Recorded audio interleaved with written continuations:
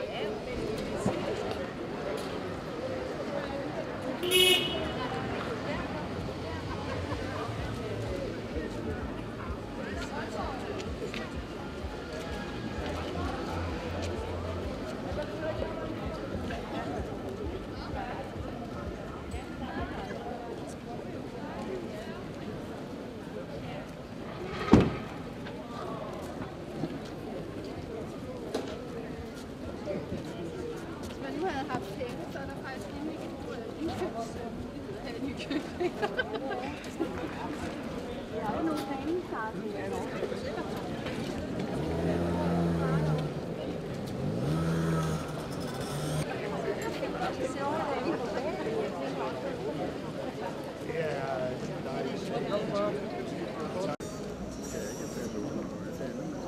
Så tænker jeg, så må vi hellere gøre noget aktivt.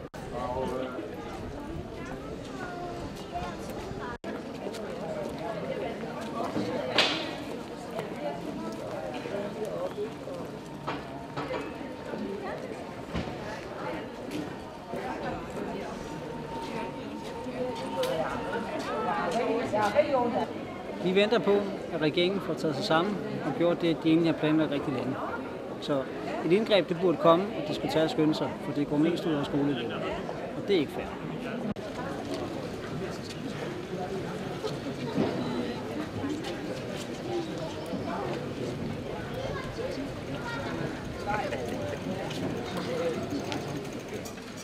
Vi venter på at komme tilbage til vores elever og få lov til at undervise og komme tilbage, så de kan blive færdige, vores elever.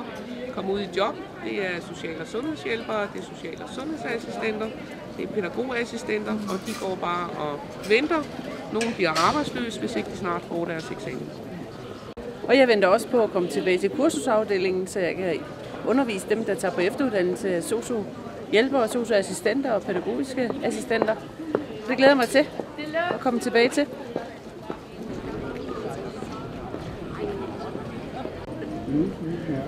Min mor, hun venter på, at hun kan øh, komme arbejde, og jeg venter på, at jeg kan komme i skole.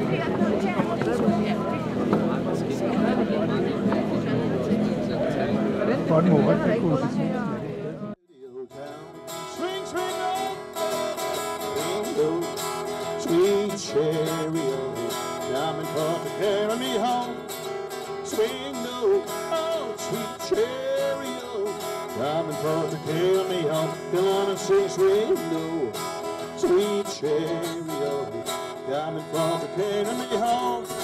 Swing low, oh sweet chariot, coming for to carry me home. I looked over Jordan, and what did I see? Coming for to carry me home. A band of angels coming after me, for to carry me home. Come on and sing, sweet.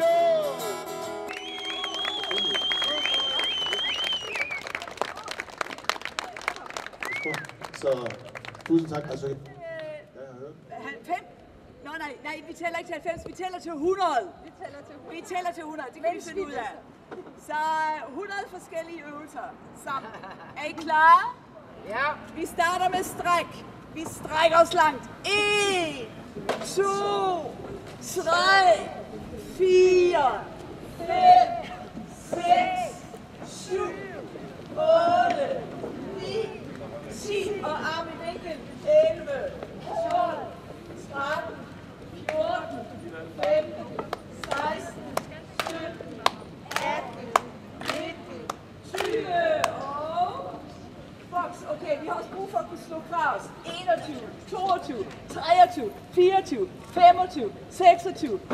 27, 28, 29, 30.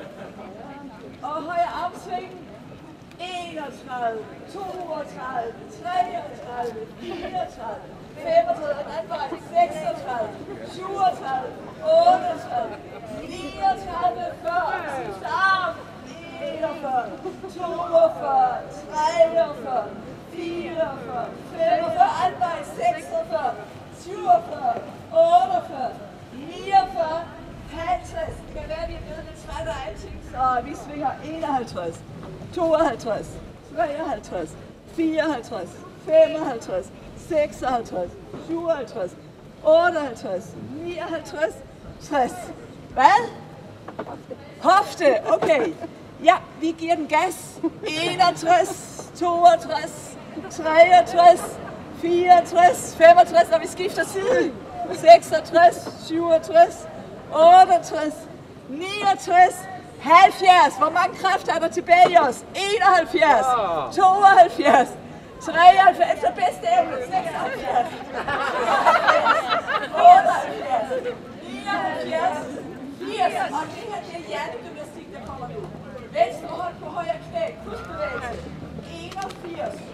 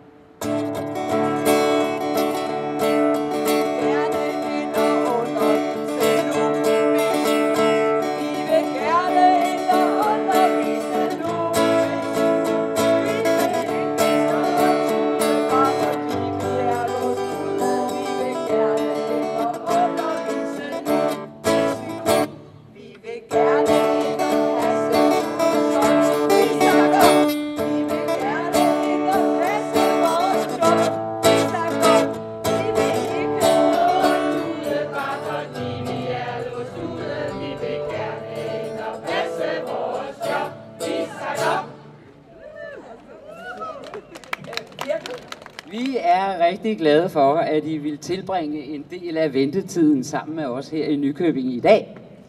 Og selvfølgelig også Rydiger, som har sørget for lyden, så vi ikke skal stå og råbe. Vi er nu nået til den 14. dag af lockouten, og der har været sluppet meget løs de seneste måneder. Først var der talen om den grænseløse folkeskole med grænseløst arbejde til lærerne.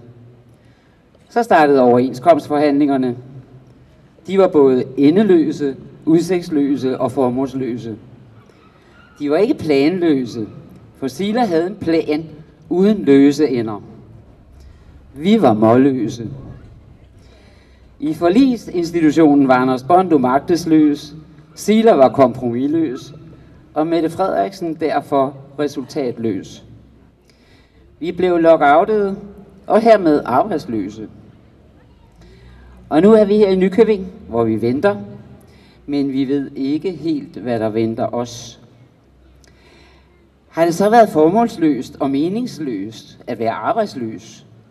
Nej, for vi kan se os selv i spejlet og vide, at vi ikke er hverken fantasiløse, viljeløse eller holdningsløse. Og det giver mening. Når lockouten slutter, kommer der nogle opgaver, som skal løses. Til den tid skal vi stå lige så tæt sammen, som vi gør nu. Der var et klogt menneske, der for nylig sagde, hvis ikke vi går i takt, kommer vi til at løbe om kap. Og det skal vi huske på ude på de enkelte arbejdspladser, når vi engang mødes der igen. Hvis vi ikke går i takt, kommer vi til at løbe om kap. Tak for det. Vi øh, fortsætter med sangen, der står på side 3 om den danske model.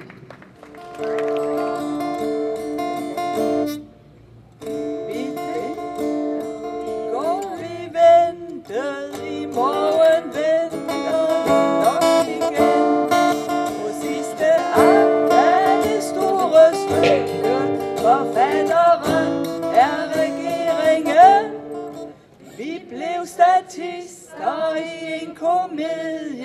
om finansiering af en reform. Vi alle udfylder vores roller, entusiasmen den er enorm. Så vi forhandlede, som vi skulle, men resultaterne udeblev. For KL kendte jo drejebogen, måske de også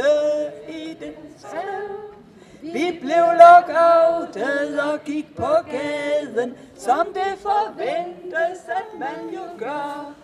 Nu er vi nået til 14 dagen, hvad bliver det næste, vi fra dem hører? Regeringsindgreb er det, de ville. Forhindringen var en dansk model.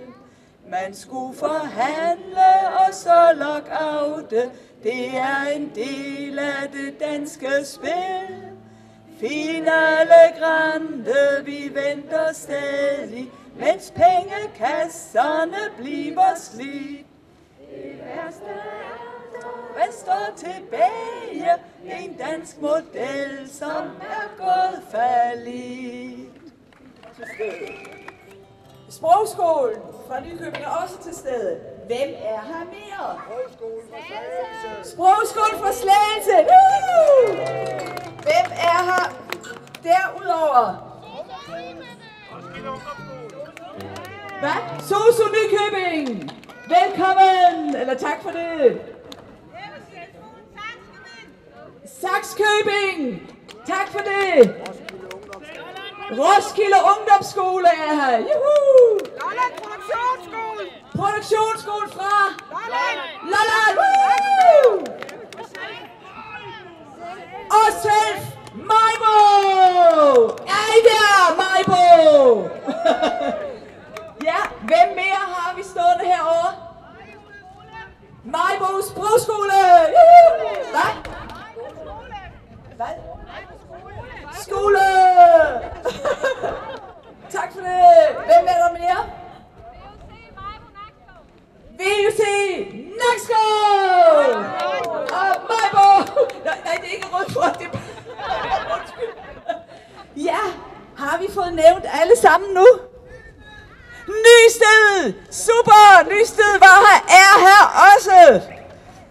Fint. Jamen, øh, er der nu nogen andre, der har lyst til at gribe mikrofonen så ordet frit, inden vi slutter med fællesang? Jeg står jo som den lokale repræsentant for Uddannelsesforbundet og underviser til daglig på øh, øh Guldborgsund øh, Sprog- og Integrationscenter her i Nykøbing. Og øh, vi har haft en demonstration i dag, hvor øh, vi har stået ned gennem gaden og øh, demonstrerede, at vi sådan set bare venter. Øh, vi synes, det er meningsløst det her. Det har vi sådan set synes, det har været hele tiden. Øh, de forhandlinger, der har været kørt, var skinforhandlinger, og der er ikke rykket noget som helst, og vi forventer heller ikke, det sker. Det, der vil ske, det er et regeringsindgreb, og øh, det skal selvfølgelig passe med nogle datoer i forhold til 1. maj, og hvad man ellers kan komme ind over af forhindringer i forhold til, at en socialdemokratisk regering griber ind over for lønmodtagerne. Øhm, vi kender mange ledere, som faktisk er enige med os, og som synes, at vi er sindssygt fleksible.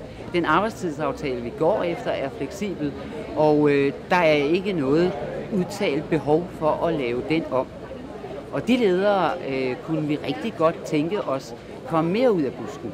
Der er nogen, der er kommet ud, og jeg så så sent som i morges nogen undsige kommunernes landsforening og sige, at de mener ikke, at det er nødvendigt at lave en gammeldags, rigid, lederstyret skole, fordi det kommer ikke til at fungere.